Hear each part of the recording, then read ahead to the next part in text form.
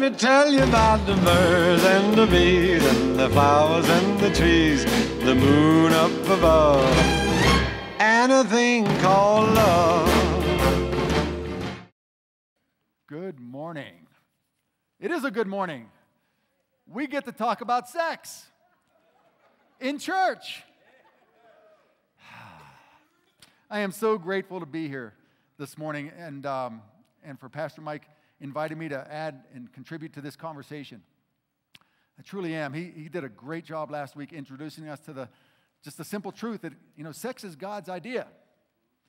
He created it. And he has a plan for it. And that plan is best understood in a right relationship with him. And if you're a guest here today and you're like, what did I get myself into? And you're thinking, this guy seems a little too excited to be talking about sex. Just let me introduce. I'm, my name's Harold, and I, I am the Family Life Ministries pastor, which means I work with families a lot. I work with marriages a lot. And along with being the Family Life Ministries pastor, I'm also a marriage and family therapist, which means I work every week in counseling with families and marriages and church. We need to talk about sex. And I'm grateful that we get to do that here today.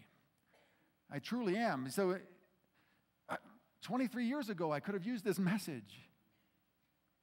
But see, the church, oftentimes we compartmentalize certain topics that are sensitive, don't we? We say that's reserved for the bedroom or that's reserved. We don't want to talk about that in here. We're working towards replacing that with authentic transparency and loving conversations about topics that are sensitive, yes, but right that we do so. Now, this is a usually comfortable conversation for me. It really is. But it's a little uncomfortable today for a couple of reasons. One, in preparation for this, I had a conversation with my daughter about it. you want to have an uncomfortable conversation, talk to your daughter about sex. And she just flat out said, Dad, I feel kind of awkward, you know, sitting there listening to you talk about sex. That's kind of weird, as any child would say that. But that's not the discomfort. It's, it's a simple fact that my wife is watching this right now on Facebook Live. Hi, honey. Um, and if I get this wrong, I may never know sex again. So, um, a little pressure there. A little pressure there. Guys, today we're going to talk about barriers, obstacles to God's plan and purpose for sex. And while I'm going to talk about three of them, I want you to just know right from the very beginning that they are only three consequences of the obstacle, and that obstacle being sin. Sin. Sin separates us from God, and it separates us from His plan and purpose for sex. So, would you pray with me? Heavenly Father, thank you that we can come here today with authentic transparency, knowing that God, you love us, and you most certainly have a plan and purpose for us. So, Holy Spirit, come. May my words be your words. Thank you, God. In Jesus' name, amen. So, there's three barriers physiological, psychological, spiritual body, mind, and spirit. That's how we were created. We were made from the mud of the ground right? And we were given this thing called free will, a mind that makes up our thoughts and our emotions. And then the most precious gift, God gave us the breath of life. He breathed Himself into us, our spirits. And when sin entered into the world, those three aspects of our existence became corrupt. They became corrupt. Let me read to you in Genesis chapter 3, verse 17. It says, Adam to Adam, God speaking, he said, Because you listened to your wife and you ate from the tree about which I commanded you, you must not eat from it. Cursed is the ground because of you. That ground, that word ground means all of creation has become corrupt, contrary to God's perfect design. We read in Romans chapter 8, the 22nd verse, it says that that all creation is groaning as if in the pains of childbirth, waiting for Christ's return. All of creation is suffering as if in the pains of childbirth, We live in a broken world. We are broken people. We have issues. So let's talk about them today. Let's talk first about our physiological barrier to godly, to sacred sex. Our bodies are broken. They're broken. And the older I get, I realize how broken they are. I'm not real happy about it. I'm not so keen on this, this aging process. I can't do the things I used to be able to do. Our bodies are broken unto death. And sex is a uniquely physical experience. I was waiting for someone to say, no, duh. There's nothing like it. Okay, look at this quote from W.C. Fields. He says it this way There may be some things better than sex, and there may be some things worse, but there's nothing like it. There's nothing like it.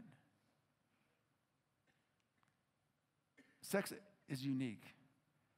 And, and, and it's this, as if God designed us physically to experience sex in His context in a unique way.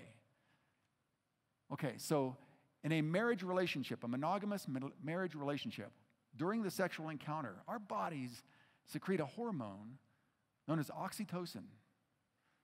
Oxytocin, it is a, it's called the love hormone because when it, when it is secreted, it, it, it creates bonding amongst the partners. It, it's women, it's research has shown that when women are nursing their infant children, they, they secrete large portions of oxytocin because it helps them bond with their infant children.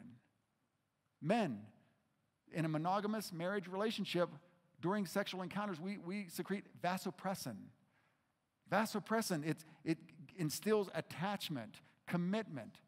It, it encourages us to protection.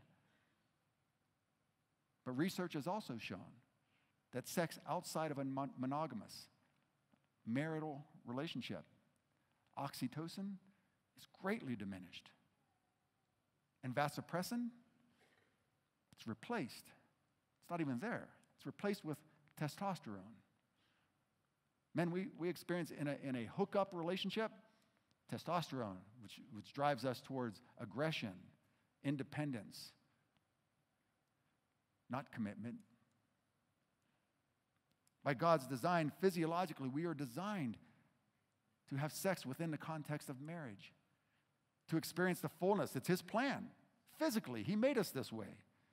But again, our bodies are broken. And for some, our bodies are broken to the point to where we ourselves we cannot have sex. If we do, it's very difficult, incredibly painful, and again, sometimes impossible. And so we look at this, and for those persons who experience that, who know what I'm talking about this morning, it's, it's incredible because the message in our culture says if you can't have sex, there's something wrong with you. You're less than equal. You're flawed. You're broken. And I work in counseling with a, a great many couples. One in particular, they waited till they were married to have sex. And they were young when they got married. And they were so excited on their wedding night to consummate their marriage through the sexual encounter, only to find out it was very painful and very difficult. And not just then, but continuing. And they went to doctors and they went and they sought counseling and they did everything they could, but there was no relief to be found. And they thought, what did I do wrong? What's wrong with me? Did God forget me? God did not forget them. Our world is broken. And sometimes we suffer the consequences of our sins, don't we?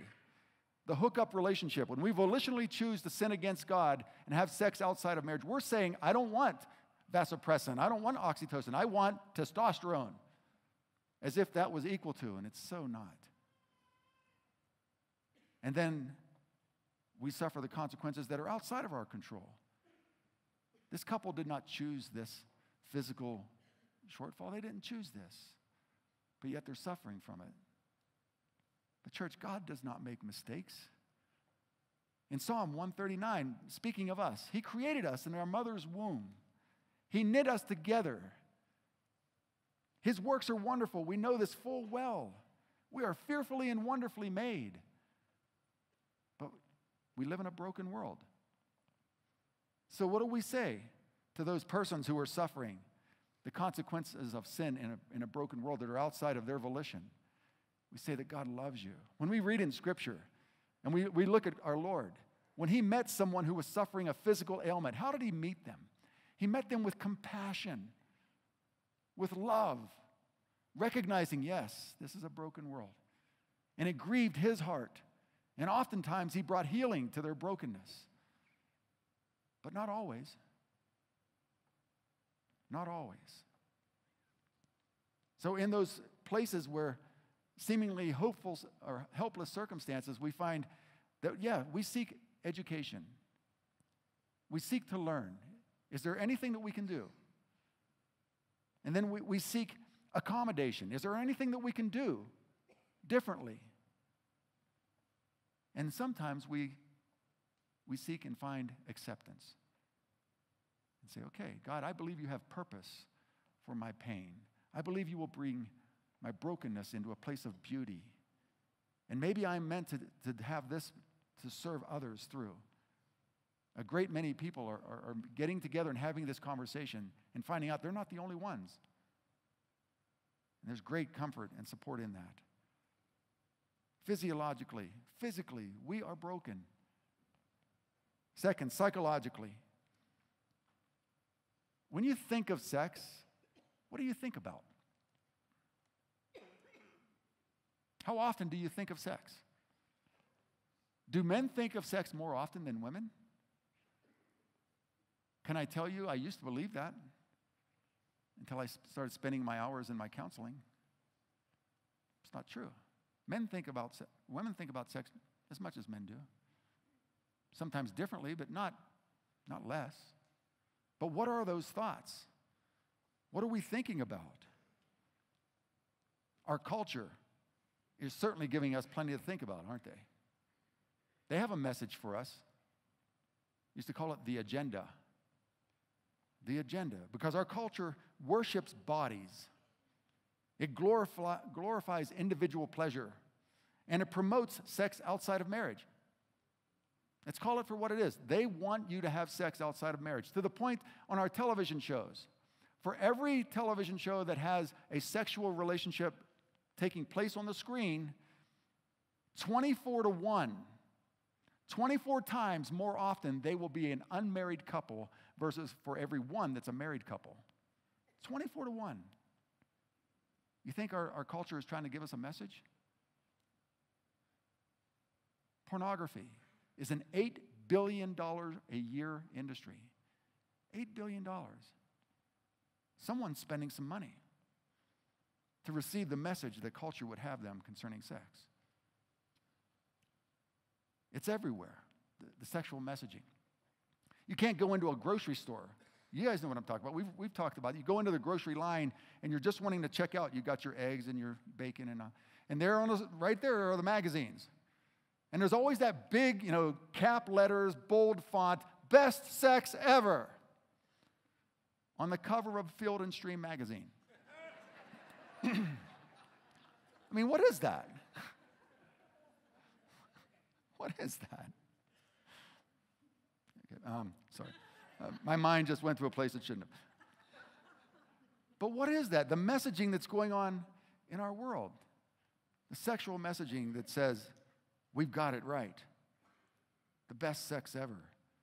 You would think that with all of the education and all of the you know, years of experience that our culture has had, that our culture would be experiencing the best sex ever. But do you know research is just the opposite? That, that our culture is reporting an ever decreasing satisfaction with their sexual activity. It is. More and more people are saying they are less satisfied with their sex. But we know how. I mean, our culture is telling us, I mean, this, what are we doing wrong? Must be me. Everybody else is having a great time, right? No. Sex out of, outside of God's will and God's plan will always be disappointing, will always come up short. So, what do we do? In counseling, I, we talk about the fact that oftentimes behaviors are the result of first, it begins with a thought. And it's biblical. You'll find this in Scripture that when your thoughts begin and, and you let them fester for a while, and then you add some emotion to that, right? Some passions to those thoughts. The next step is behavior. And so we, we talk first often to men about bouncing your eyes. Bouncing your eyes.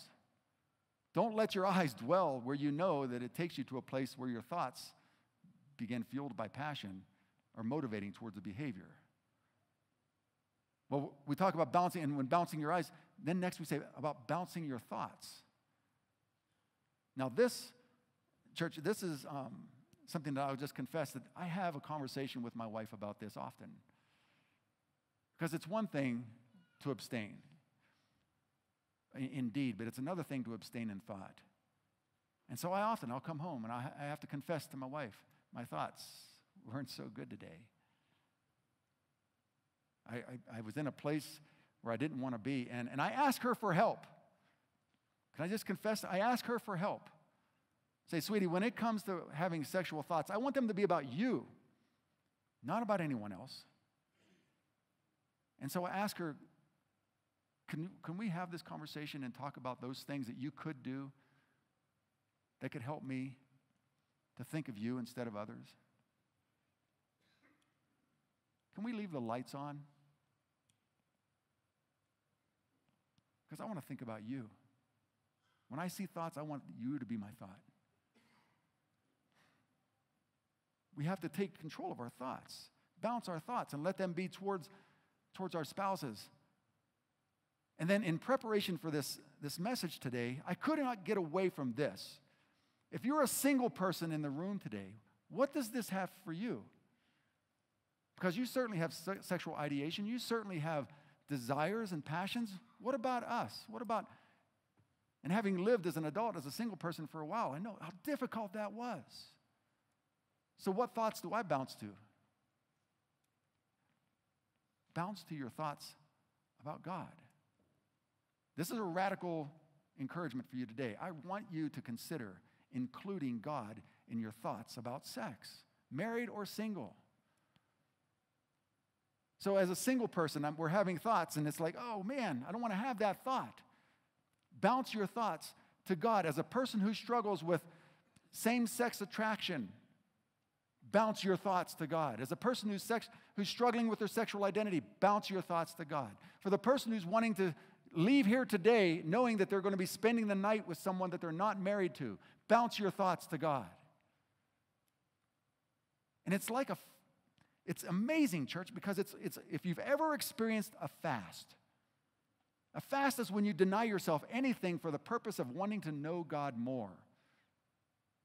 When you abstain from from sex outside of God's plan and will, you experience an intimacy with God. That's amazing. Because God knows your struggle and He wants to meet you there. And when you bounce your thoughts to Him, He will be there and He'll meet you there. And you will encounter an intimacy. And let me define this intimacy. We, Pastor Mike did this last week. Intimacy is a complete transparency, and vulnerability with the assurance of trust, or excuse me, the assurance of love and acceptance. When you bounce your thoughts to God, you find love, you find acceptance.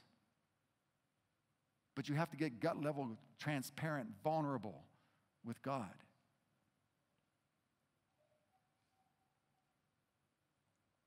Physiological, psychological barriers because of sin. Lastly, a spiritual barrier, a spiritual barrier to godly sex. As I've said before, sin separates us from God. This was the devil's plan. This was his purpose. We were in perfect unity with God in the Garden of Eden. Adam and Eve, intimacy with God, vulnerable, transparent, experiencing the intimacy with God. Our devil the, the enemy comes into the, the garden and he persuades them to rebel, to choose, to disobey God. And as a result, we're separated from him. Now, can I define religion for you just real quick? Because a lot of people, this is confusing, and I want to make sure that I, am communicating effectively this morning. So I want to give you my simple definition for religion it's an outward expression of an inward priority. Okay? So we're very religious about a lot of things in our lives, aren't we? If I spend three days, four days a week on the golf course every week, I'm very religious about golf.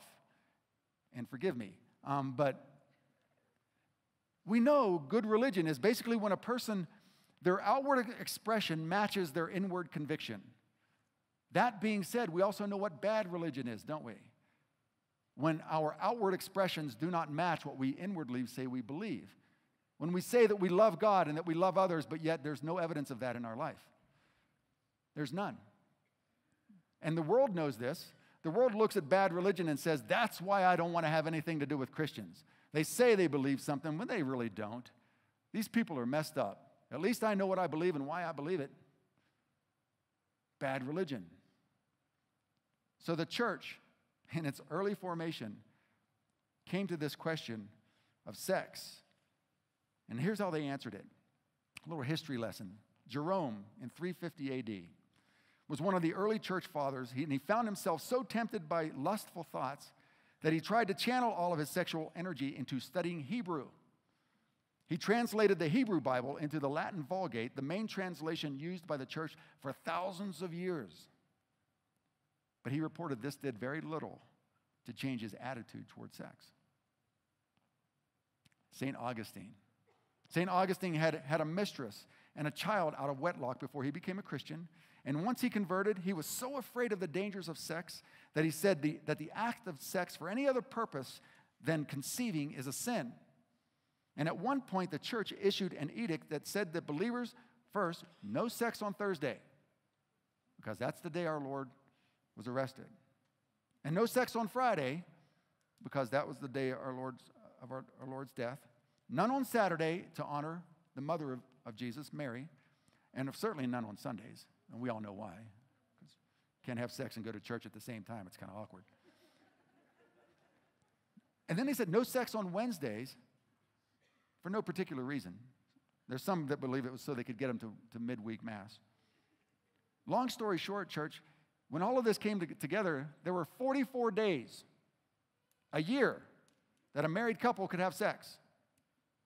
Well, let's hope you're not sick or out of town on business or, or uh, some other inconvenience was in your way 44 years or 44 days a year. Now, the Reformation movement in the 16th century tried to right some of this, but in England and the America, American Victorians, they brought back this ethic of repression, even to the extent of covering the legs of furniture so that they wouldn't arouse any impure thoughts. We, we've entitled this series, or this, this today's message, hashtag sexy table legs. now you laugh, you go to lunch today, you're going to see a table leg and you're going to go, oh. you know you will. This is religion. Saying that, that, you, that you love God and you want to serve God, but yet you go so far as to cover, cover your table legs instead of having a conversation and being authentic and genuine with each other and saying, um, yeah, I struggle with that too. How, what can we do about that? Bad religion. There's a difference between religion and spirituality, however. Spirituality, I define it as this it's the eternal portion of ourselves relating to an eternal God, the breath of life, our spirits. Now that's different. Remember, sin di- er, didn't enter the world to break and, and separate us from our religion. It came into the world to separate us from our relationship with God. And sexual sin will do that. Sexual sin will do that. Romans 12, verses 1 through 2 says this I, Therefore, I urge you, brothers and sisters, in view of God's mercy, to offer your bodies as a living sacrifice, holy and pleasing to God. This is your true and proper worship. Do not conform any longer to the pattern of this world, but be transformed by the renewing of your mind. Then you will be able to test and approve what God's will is, his good, pleasing, and perfect will. You see, again, offering our bodies and our, our behaviors to God It's an act of worship that leads to transformation. It changes us from our brokenness more into the, to the likeness of our Lord and Savior Jesus. It transforms us. We're a new creation. We become like Christ when we offer our bodies as a living sacrifice. So, what, what now, church? What do we do with this? Our physiological barrier. Let's look for God. Let's look for God. And look for those provisions that He's made. And ask Him, what about me? What am I supposed to do? Church, can I just say this? Again, the couples that come into my office, one of the major struggles that they're having in, in, in regards to their sexual encounters as a married couple is again, they're just not talking to one another. They come in and so that I can help mediate an uncomfortable conversation. Let this become a comfortable conversation in the, in the context of marriage. You don't need to be ashamed of this. God created this. This is beautiful. He intended for, this is God's plan for recreating the world. Think about that. This was God's plan for recreating the world. So when you have a, a sexual encounter with your wife, with your husband, you can think about the children that you've already had, the children you may have and the fact that you are someone's children. And as a result of sex, you're here. And it was God's plan, and it's beautiful. It's amazing. Recognize it and have a conversation. Talk to your spouse. Certainly, educate yourselves. Continue to read the scriptures and, and hear God's plan and purpose for, for intimacy and accommodate where necessary. Psychological, this is simple. Include God in your thoughts about sex. That's radical. Really? Like in the bedroom? Yeah. One of the most intimate things my wife and I ever experienced was on our wedding night, was kneeling at the bed and giving thanks to God for his goodness to us and for our marriage. That was intimacy. And can I tell you, that was better than anything else that followed. Intimacy with God. Include God in your thoughts about sex. And then finally, spiritual. Let God be God. Recognize that He has a plan and purpose for your life. And, and again, you, we will never fully understand the gift and the blessing of sex outside of a right relationship with Him. And so, if you're here this morning and you're not sure how, how to, to go about that, please know that we would love to talk to you about that. It begins just like oftentimes it happens in, in a counseling setting, it's basically someone just confessing, I've got issues. That's why I love to do counseling. Because finally, people are willing to admit, I've got issues. They're not going to fake it. I can't fake it anymore. If we, church, can just come before God and humbly confess, I've got issues, God, and I can't fix them, help me. And find through Jesus Christ forgiveness for those issues, strength and hope in those issues. Include God in your issues. I'll wrap up with this, guys. There's an ancient Roman proverb. I, I tried, I went on the internet and I heard how it was pronounced in Latin. And I'm going to I'm going to try and do that, but trust me, I'm going to destroy it. So here we go. I do, I do not speak Latin, but post coitum animal triste. Post coitum animal triste. It says this Every creature is sad following sexual intercourse. This is a Roman proverb. And when I looked at that, I said, well, that's, that's depressing. Until I remembered who wrote it. This is a Roman culture who were apart from a right relationship with God, who were very much sexually active. Sound like a culture we know? And they were sad because they were experiencing sex as animals without the Spirit of God in them, without the understanding of that we were created to be in a monogamous marital relationship. They didn't know God's plan for sex, and for them, it made sense that sex, afterwards, everyone is sad. But it need not be true. Because God's plan for sex leads to joy. A joy knowing that, that He loves us, that He was very strategic in the way that He designed and created us, and that our marital relationship is meant to be a, a reflection of our relationship with Him intimacy, vulnerable, transparent, trust, and acceptance and love. So, allow your sexual expression to be a reflection of your intimate relationship with God. So, what now?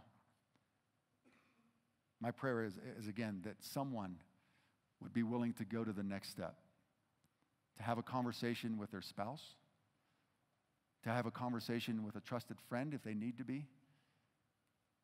We, we are blessed at Highland in that we have this thing called the healing place where myself and several others, we get to, to hang out with people and help them struggle through some stuff that they know they can't.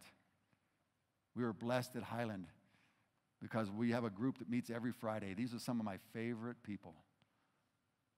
See, they celebrate recovery, recovery from those issues that they know are keeping them from God's best for them. You have a church, you have a pastoral staff that we would love to talk to you. We'd love to serve you and support you in this thing, in this broken world that we live in. We were never meant to do this alone, church. So, what will you do next? My prayer again is that you will take the next step, and only you and God knows what that is. But don't leave here without being willing to at least consider and hopefully commit to the next step. Next week, Pastor Mike's going to come and going to close up our, our, our, our, quick series. And um, it's, it, it's going to be amazing. So I hope that you'll come back. Would you pray with me? Father God, thank you that we can be here this morning that we can worship you, your goodness, your grace, your mercy. We love you, Father. Thanks that we can be in a group of people who are willing, who are willing to have difficult conversations because we know sometimes through that discomfort, oh, that comes intimacy with you. God, I do pray for those who are, are, are recognizing that, wait a minute, maybe I'm outside of that relationship with God. I pray that their hearts would be turned towards you that they would confess their need of a Savior, that they would accept Jesus into their life as their Lord and Savior. And then, having done so, begin the journey empowered by your Holy Spirit. Thanks again, Father, for the gift of sex, the intimacy that you desire that reflects the intimacy that you desire with us. We pray in Jesus' name. Amen.